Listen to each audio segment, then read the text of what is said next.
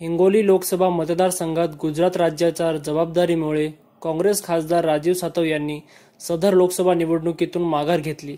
पंतप्रधान नरेंद्र मोदी अमित शहा यांचे राज्य असल्याने त्यांना पूर्ण वेळ मिळण्यासाठी पक्षाने हा निर्णय घेतल्याचे सांगितले जाते. त्यामुळे ऐनवेळी माजी खासदार सुभाष वानखेड यांना आयात करावे लागले. त्यांची निवड करताना लोकसभेत येणाऱ्या आघाडीच्या सर्व आजी माजी आमदारांना विश्वासात घेतले. एवढेच नव्हे तर निवडून आणण्याची जबाबदारीही दिली. या सर्व प्रकारात हिंगोलीचे माजी आमदार भाऊराव पाटील गोरेगावकर हे आघाडीवर होते.